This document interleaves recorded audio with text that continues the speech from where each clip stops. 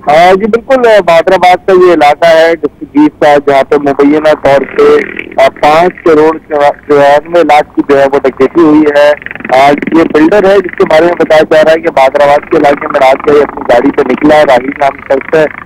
जबकि वो रास्ते में ही था कि चार मोटरसाइकिल सवार मुसलमान है, जिन्होंने रात के अंधेरे का फ़ायदा उठाते हुए बासानी डकैती की और डकैती करने के साथ साथ जो बिल्डर है, उसकी गाड़ी भी गिनी लेकिन कोई दूर जाके वो गाड़ी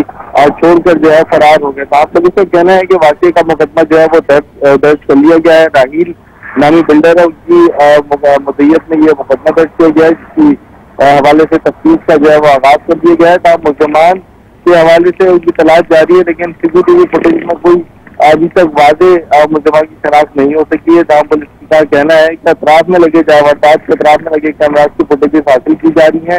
और कोशिश की जा रही है कि मुसलमान को जल्द से जल्द तलाश किया जा सके लेकिन हैरान कुन बात है कि शहर में इतनी स्पीड क्राइम की वारदातें होती है उसके बाद भी पुलिस की जाने से कोई खास नाकाबंदी नहीं की गई। गया तौर पर अपडेट किया बहुत शुक्रिया आपका।